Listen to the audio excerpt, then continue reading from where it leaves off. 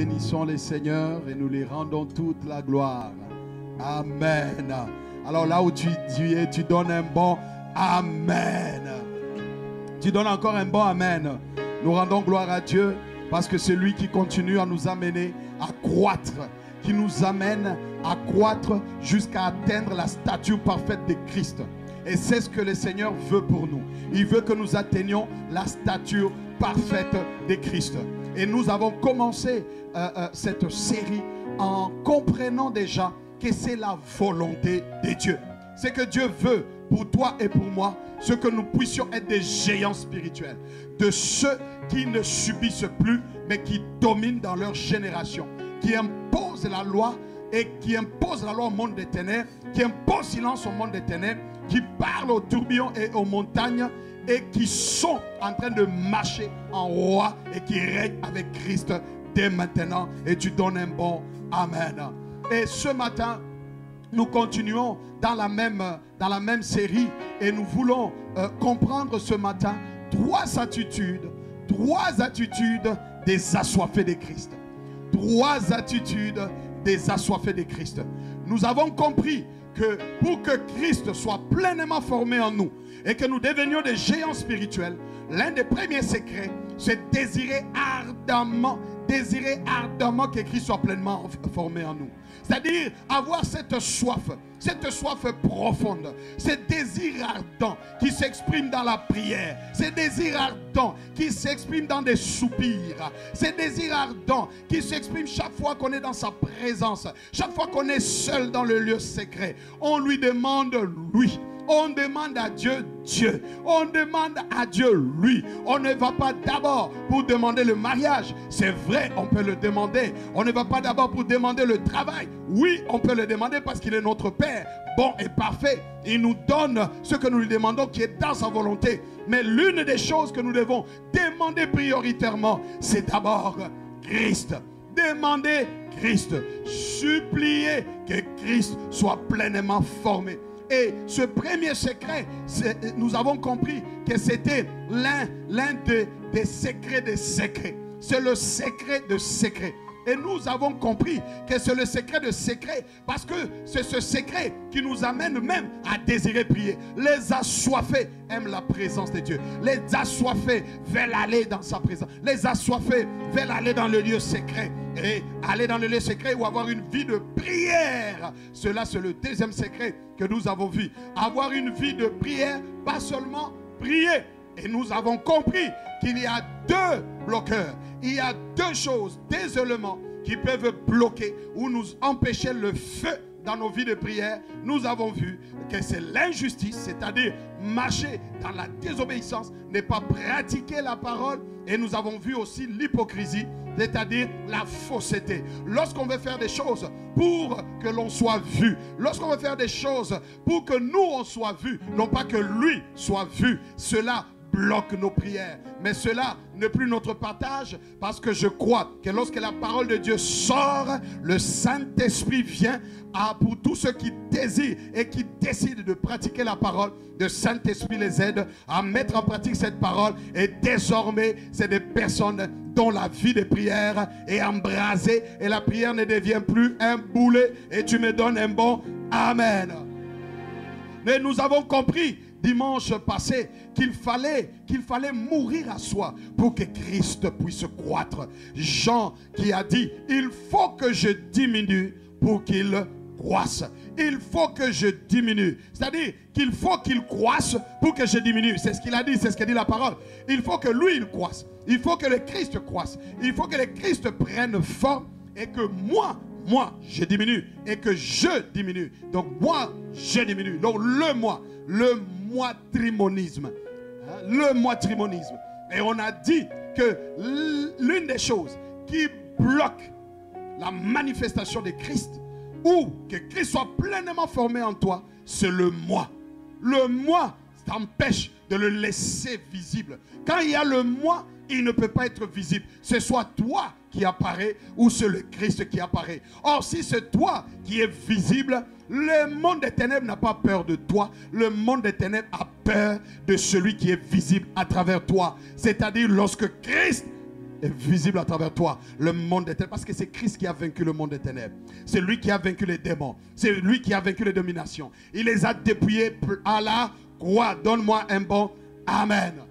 Et je voudrais revenir pour dire que le Christ, lorsqu'on dit que Christ soit pleinement formé en nous, on est en train de parler, quand on parle de Christ, on parle de qui? On parle de la personne du Saint-Esprit. La personne la plus importante sur la terre. Et la plupart d'entre nous, nous connaissons le Jésus qui sauve. D'autres connaissent le Jésus qui délivre ou le Jésus qui guérit. Mais très peu connaissent Christ. Christ dépasse largement la dimension de Jésus qui sauve, de Jésus qui guérit, de Jésus qui libère. Jésus qui sauve, Jésus qui guérit, c'est Dieu venant habiter dans l'homme pour la première fois ou prenant le, euh, euh, un corps humain pour la première fois afin de réconcilier l'homme avec lui-même. Ça, c'est Jésus. Mais Christ, c'est le Dieu qui était en Jésus. Waouh! Le Dieu qui était en Jésus et qui est venu désormais habiter en nous.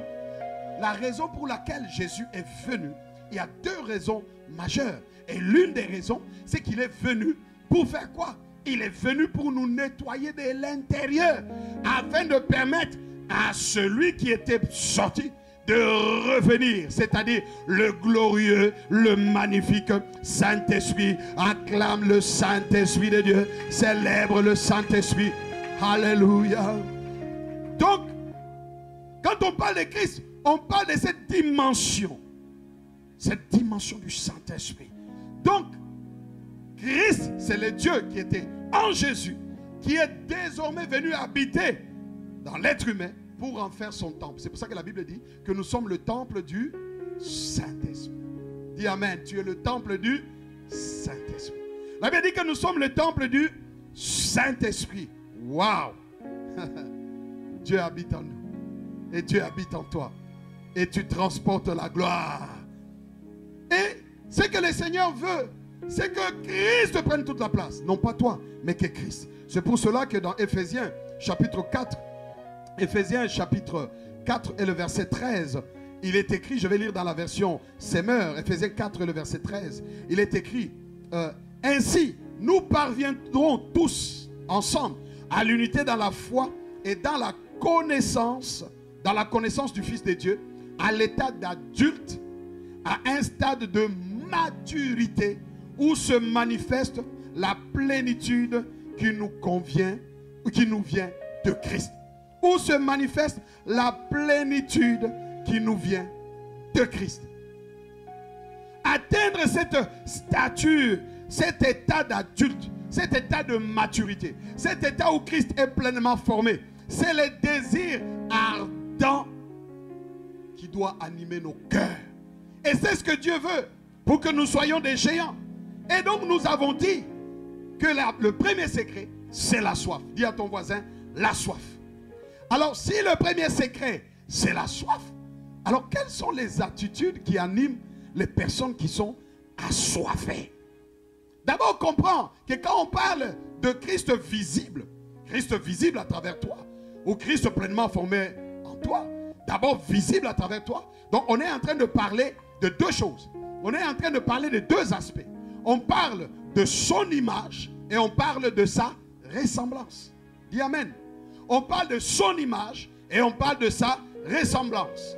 Il y a deux baromètres qui permettent donc de, de pouvoir peser la vie d'une personne sur terre.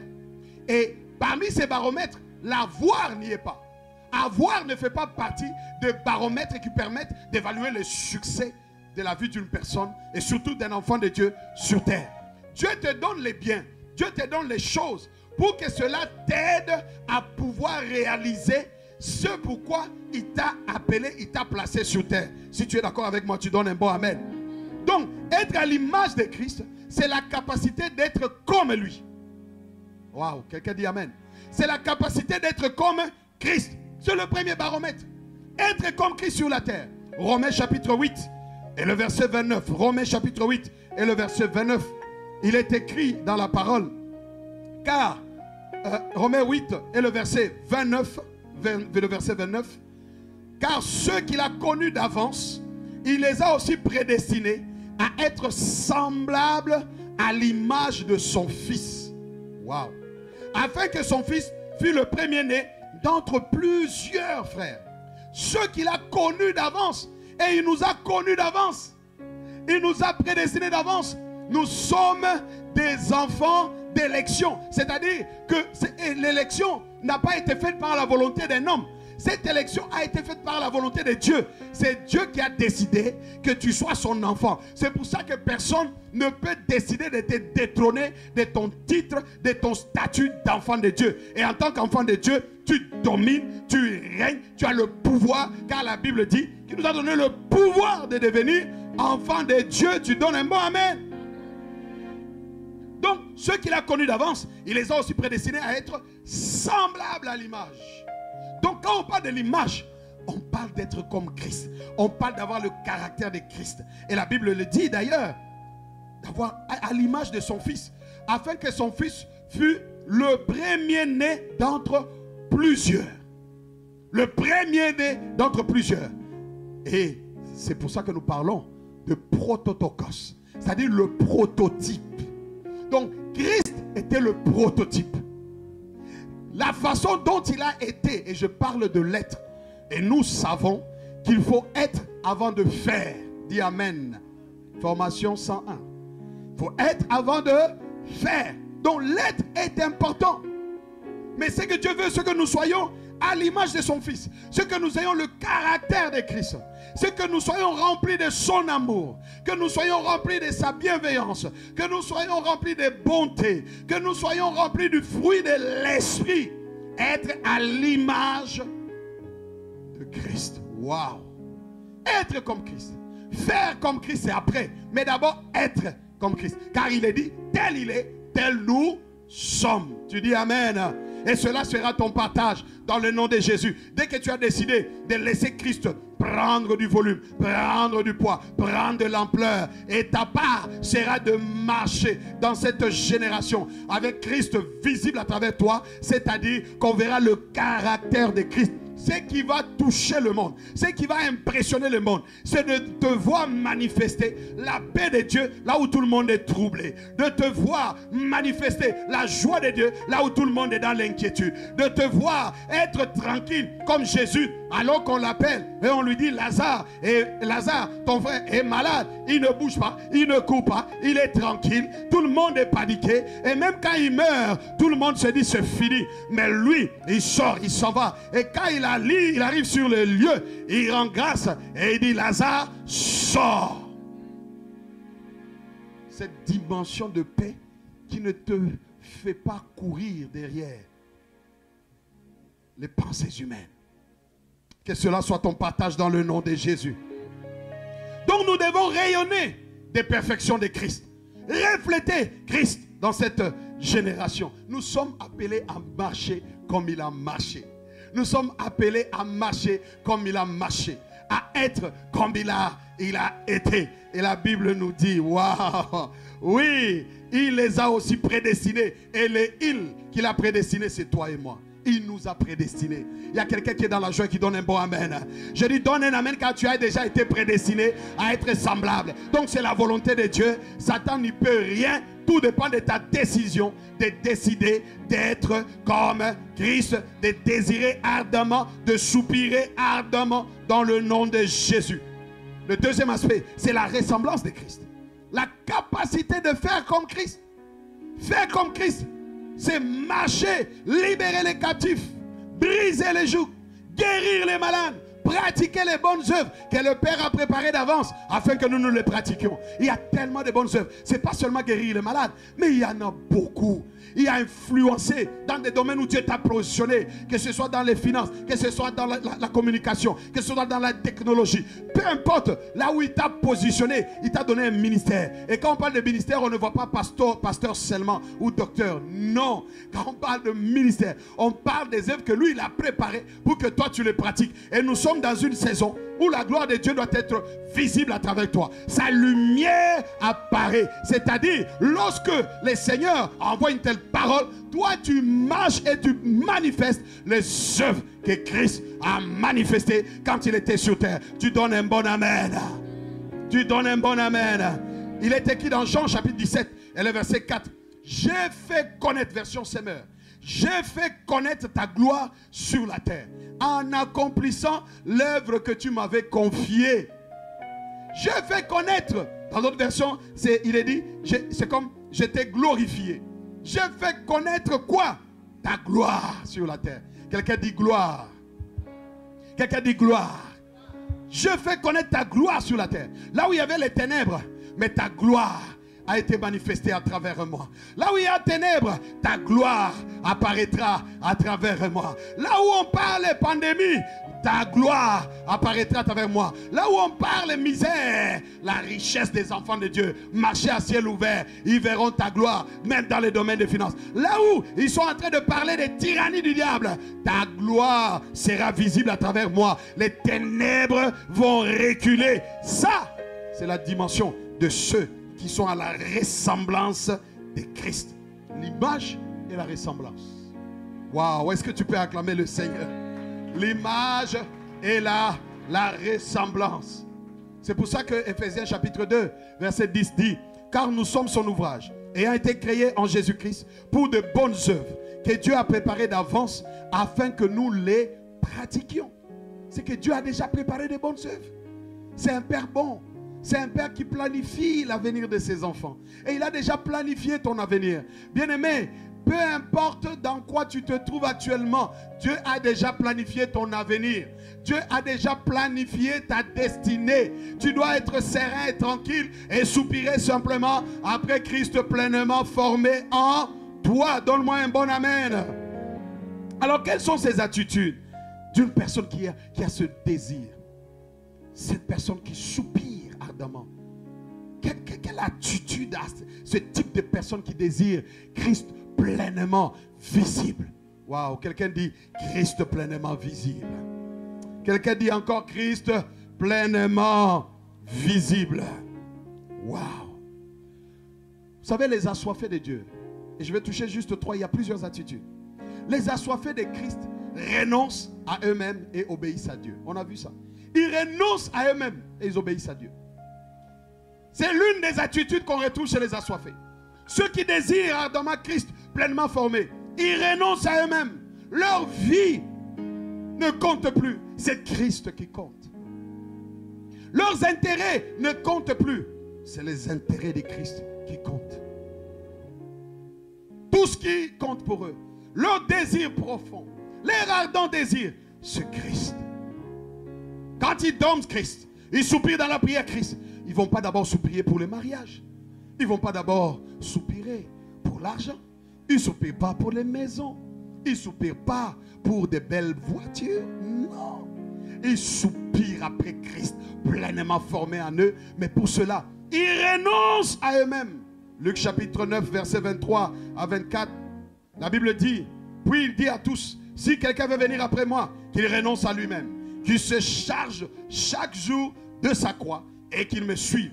Car celui qui voudra sauver sa vie la perdra.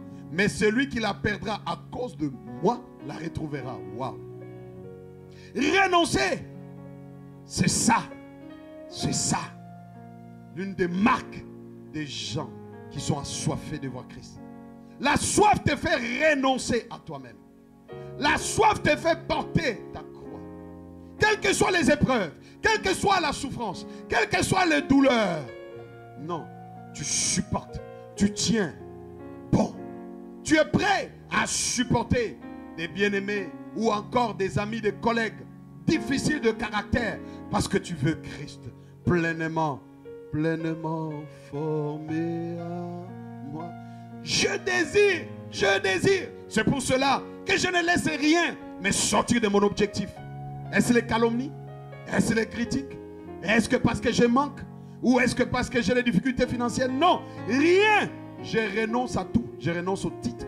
Je renonce à la vaine gloire. Non, qui suis-je? Qui es-tu? Qu'as-tu que tu n'aies reçu de Dieu? Le premier obstacle à la vie de Christ, nous l'avons vu, c'est le moi, le matrimonisme. Le moi doit mourir. Mourir à soi, c'est renoncer à soi-même. C'est sacrifier. C'est abandonner. C'est céder. Deux fois, il va te dire, laisse faire. Viens, va annoncer l'évangile. Mais quand tu es encore attaché au bien, tu es encore attaché aux choses, tu es encore en train de penser comment tu as encore, tu as encore à aller courir derrière l'argent. Bien aimé, ceux qui renoncent, les assoiffés, on les découvre parce qu'ils sont prêts à renoncer. Ils sont prêts à renoncer. L'apôtre Paul dit, je regarde toutes choses comme de la boue. Afin de faire quoi? Il veut atteindre Christ. D'atteindre l'objectif. Le but pour lui, c'est Christ. Qui était Paul? Paul était très instruit. Paul était très instruit. Paul connaissait la loi. Paul avait tous les droits de se taper dans la poitrine. Mais voilà une personne qui a renoncé, qui a accepté de sacrifier. Quand il y a le sacrifice, il y a le feu. Dès que tu décides de sacrifier, le feu descend dans ta vie. Le feu se manifeste dans ta vie. C'est pour ça que les assoiffés, ce sont des gens qui sont bouillants, des gens qui sont zélés. Même l'autre qu'on veut, on veut les bloquer, on veut les arrêter. On n'arrive pas parce qu'ils sont bouillants, ils sont zélés pour Dieu. Une des attitudes, c'est des gens qui acceptent d'abord de sacrifier, de s'abandonner. Leur joie, c'est je veux Christ pleinement formé en moi. Ça, c'est leur prière. C'est leur désir. Et pour cela, on le voit dans le renoncement. Si tu n'as pas la soif de vivre Christ, tu auras du mal à obéir. Tu vas avoir du mal à obéir à Dieu. C'est la soif qui te fait obéir. C'est la soif qui t'amène non seulement à renoncer, mais à obéir. Là où c'est compliqué, on dit viens coucher. Tu dis non, je veux Christ pleinement formé en moi. Vas-y, je n'ai pas besoin de toi. Il dit mais eh, tu vas rester seul Est-ce que tu vas pouvoir résister seul? Tu sais, ça, ça va faire beaucoup d'années hein, et ça va être compliqué. Tu dis non, non, non, non, non. Je veux Christ pleinement formé. Renoncer, ce n'est pas seulement au péché. Renoncer, ce n'est pas seulement aux œuvres de la chair. Mais renoncer, c'est renoncer aussi à des ambitions personnelles. Il y en a, il y en a qui doivent renoncer à certaines choses qu'ils prennent comme étant ayant plus de la valeur que Christ. il faut renoncer à la culture. Quand tu prends ta culture comme ayant plus de valeur que Christ, il faut renoncer. Renonce. Laisse Christ prendre du volume. Alléluia. Tu acclames les seigneurs et tu dis Amen. Lorsque tu n'as pas soif, tu vas argumenter. Il va dire, il va te dire, regarde, le frère t'a fait du tort. Et lui dit, prie pour le frère. Pendant que tu veux prier, dis, dis oui, j'ai appris que une des façons de vaincre l'amertume et de vaincre même, voilà, de vaincre l'amertume, c'est, c'est de prier pour celui qui m'a offensé, qui m'a fait du mal. Maintenant, pendant que tu es dans ta chambre seule, tu es en train de Seigneur, je vais prier pour Gaspard, Gaspard qui m'a, qui m'a, qui m'a abandonné. Ça fait deux ans de fiançailles. Seigneur, mais il m'a lâché. C'est, il y a un esprit qui te dit, il y a une voix qui te dit, non, pardonne pas, ne fais pas. Et puis tu dis, Seigneur, il est écrit tu exerces tes jugements par le feu. Juge-le. Ah, ah, ah, ah. Le jugement de Dieu, c'est contre les hôtels sataniques. Waouh, quelqu'un dit je refuse. Les assoiffés, ils vont être là. C'est dur, c'est compliqué, mais ils vont dire je veux Christ pleinement formé en moi. Alors, Seigneur, merci de m'accorder la grâce de pardonner à Gaspard qui m'a lâché après la dot, peut-être même l'après dot. Ça fait des années, c'était mon ami, Seigneur. Il m'a lâché. Mais moi, je veux Christ. Alors, accorde-moi la grâce de lui pardonner. Je prie pour lui. Accorde-lui la grâce de la repentance. Il ne te connaît pas. Seigneur, je prie pour lui. Que tu le bénisses. Que tu l'amènes à te connaître. Que tu l'amènes à être aussi un assoiffé de toi. Parce que moi, je veux pleinement former en moi. Je te veux, je veux Christ pleinement formé en moi. Je veux Christ formé en moi.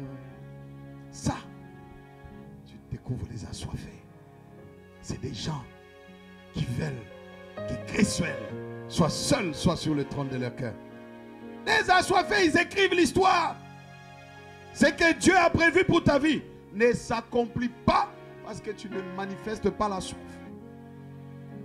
Ce n'est pas la prière d'abord qui te permet de manifester cela. C'est d'abord la soif. C'est la soif qui déclenche le feu. Hmm.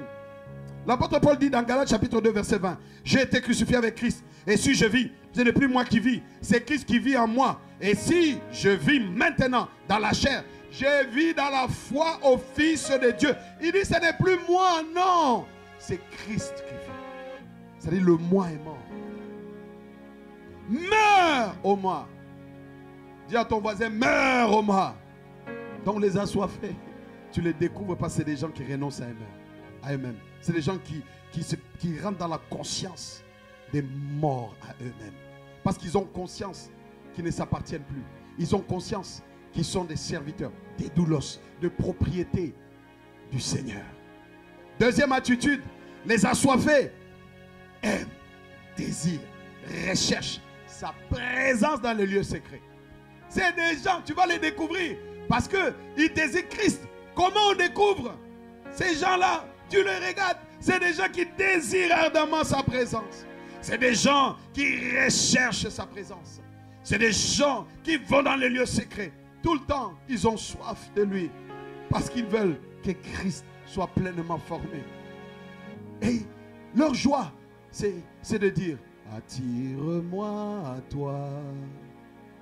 Attire-moi à toi. Attire-moi à toi. Je ne veux rien d'autre. C'est toi que je veux. Attire-moi. Ils vont dans sa présence. C'est la soif de Dieu qui te fait aimer Dieu. C'est la soif de Dieu qui te fait chercher Dieu. C'est la soif de Dieu qui te fait désirer Dieu. C'est la soif de Dieu qui t'amène à aller dans sa présence, de chercher, de le chercher, de le chercher, de le chercher. Il y a la dimension du demander, mais il y a la dimension de chercher. C'est dur, mais tu dis non, je vais aller. Le sommeil peut vouloir te retenir, mais tu dis non, moi je vais prier, je vais me réveiller avant l'aurore, je vais aller dans la présence de mon bien-aimé. Hmm. C'est ce qui va te pousser parfois à t'isoler à prendre des jours où tu te mets à l'écart, seul à seul avec lui. Tu le cherches lui, tu le demandes lui. Tu dis, je me mets à l'écart, je veux toi. Les assoiffés, on les voit ainsi. Ils se mettent, ils s'isolent, ils prennent des jours, des journées pour certains, pour, pour d'autres des fins de semaine complètes. Ils se mettent à l'écart avec lui. Parce qu'ils disent, non, attire-moi à toi. Attire-moi à toi. Attire-moi à toi. Attire-moi à toi. C'est leur désir. Désir. Voilà l'attitude. Deuxième attitude. C'est pour ça que le psalmiste dit, psaume 42, verset 2 à 3. Comme une biche soupire après des courants d'eau, ainsi mon âme soupire après toi, oh Dieu. Mon âme a soif de Dieu. Mais de quel Dieu? Du Dieu vivant. Est-ce que quelqu'un acclame le Dieu vivant? Est-ce que quelqu'un célèbre le Dieu vivant? Mon âme a soif. Pas la soif d'une femme, non. Pas la soif d'un homme, non. Pas la soif d'une voiture, non. Pas la soif des biens, non. Nous avons été rachetés avec Christ. Et notre vie est élevée. Nous sommes élevés. Nous appartenons à ceux qui sont attachés d'abord aux choses d'en haut. Oh. Oh Seigneur. Oh, oh Seigneur. Mm. Oh, c'est toi que nous voulons. Comme une bille soupire après des eaux. Je soupire avec toi. Tu es tout pour moi. Sans toi, sans toi, je ne peux vivre, Seigneur. Oh, tu es tout, tu es tout pour moi. Oh, sans toi, sans toi, je ne peux vivre. Oh, Abba, tu es tout pour moi.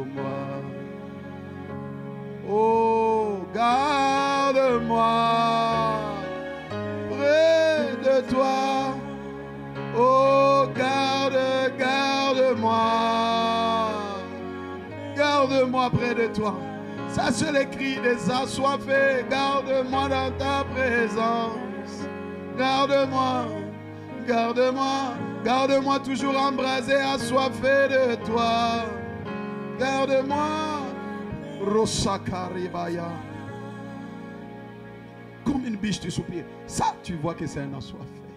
C'est quelqu'un qui, qui aime sa présence, qui désire être dans sa présence, le cherche. On ne le fait pas parce qu'on a besoin de percer. On ne le fait pas parce qu'on a besoin simplement d'être seul et de fuir les gens. Non. Parce qu'on a besoin de lui. On a besoin de l'entendre. On a besoin d'avoir ses instructions. Parce qu'il est écrit dans la parole, psaume 32, verset 8, la Bible dit, je t'instruirai. Je t'instruirai, je te montrerai la voie que tu dois suivre. Je te conseillerai et j'aurai les regards sur toi. Donc les assoiffés, leur attitude c'est d'aller au pied du maître. Je désire toi. Parce que quand tu le désires, lui, il te montre les chemins tout tracés. Il te montre un chemin de sagesse. Il te remplit de sagesse, cette sagesse à laquelle le monde ne peut résister. Oh, tu as manqué une bonne occasion de donner un bon Amen et d'acclamer le Seigneur.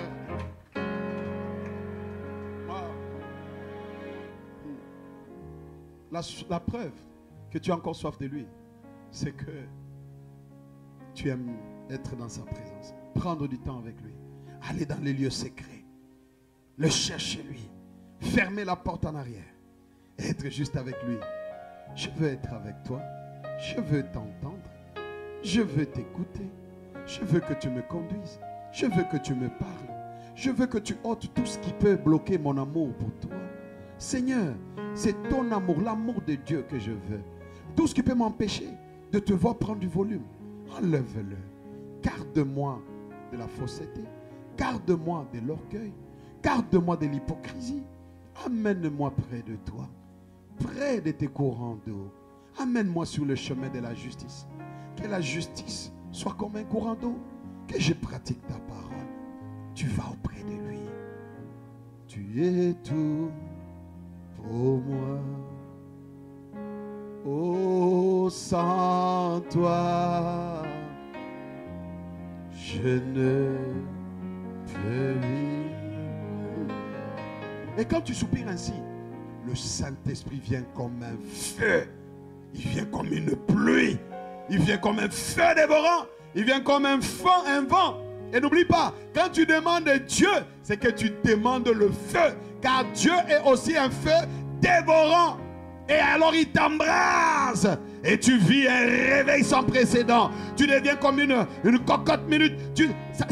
Tout le temps, tu es bouillant, bouillant, bouillant en feu.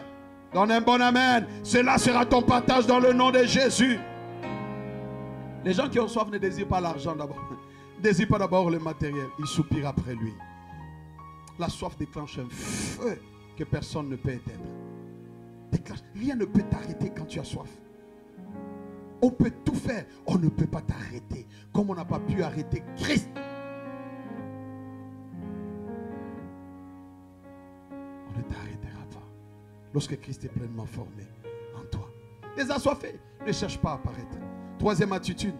Les assoiffés de Christ sont insatisfaits de la dimension qu'ils ont atteinte. C'est des gens, lorsqu'ils ont atteint une dimension, que ce soit dans le service, que ce soit dans, un domaine donné, que ce soit dans la communion avec lui, ils ont atteint une certaine dimension. Ils ne disent pas, ça y est, je suis arrivé. Le danger, c'est de se dire, c'est bon, maintenant je prie deux heures, je prie une heure, je... non, c'est bon maintenant. C'est bon, je, suis arrivé.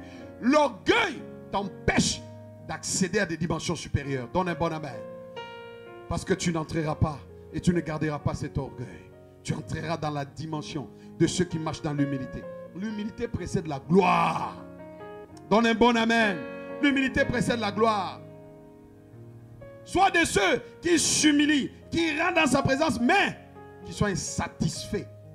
Les assoiffés de Dieu, tu les reconnais. Ils sont insatisfaits des dimensions ordinaires. C'est là que nous disons, je ne suis pas satisfait. Je ne suis pas satisfait d'une dimension ordinaire. Non. Une dimension supérieure est possible.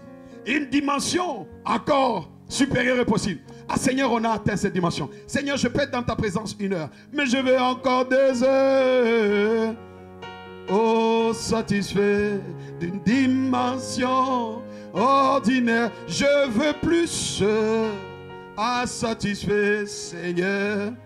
Seigneur, j'ai commencé à pardonner un peu, mais je ne suis pas encore fidèle dans les dîmes. Alors, une dimension oh supérieure, Seigneur, je désire encore plus de toi.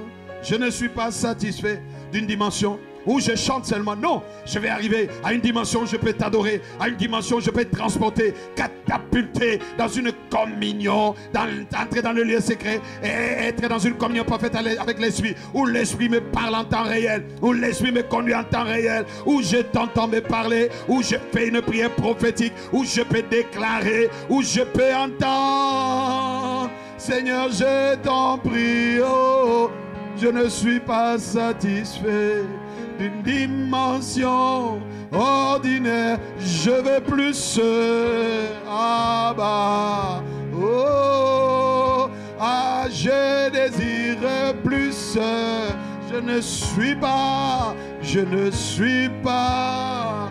Oh, oh, oh. voilà un assoiffé qui est dans sa présence qui dit Seigneur, les malades sont guéris. Oui, les démoniaques oui, ils vivent ta main, mais ce n'est pas fini. Il y a encore plus. Les paralytiques peuvent marcher. Il y a encore plus. Les boiteux peuvent se tenir debout. Il y a encore plus. Les aveugles peuvent voir. Il y a encore plus. Des multitudes peuvent encore arriver. Il y a encore plus. Les assoiffés ne se disent pas, on est à 200 maintenant, c'est bon, on est à 250, ça y est. Non, les assoiffés disent, il y a des milliers de oh, ah, ah bah, utilise-nous, utilise-moi. Voilà un assoiffé qui dit, tu as préparé des bonnes œuvres afin que je les pratique. Utilise-moi à être un instrument pour le salut de plusieurs. Ah bah, je ne suis pas satisfait. Ah, Rosé Karabaya, je désire voilà, ne sont pas satisfaits d'une dimension atteinte. Paul, tu cours encore. Paul, tu as encore soif. Malgré la dimension que tu as atteint avec Dieu. Tu as gagné des âmes. Dieu a confirmé sa parole par des miracles, des prodiges, Paul. Mais tu cours encore. Paul dit, Philippiens chapitre 3, verset 12. Ce n'est pas que j'ai remporté. Ce n'est pas que j'ai remporté le prix. Voilà une attitude. Ce n'est pas que j'ai remporté le prix ou que j'ai déjà atteint la perfection. Mais je cours. Je cours. Je cours pour faire quoi? Pour tâcher de le saisir.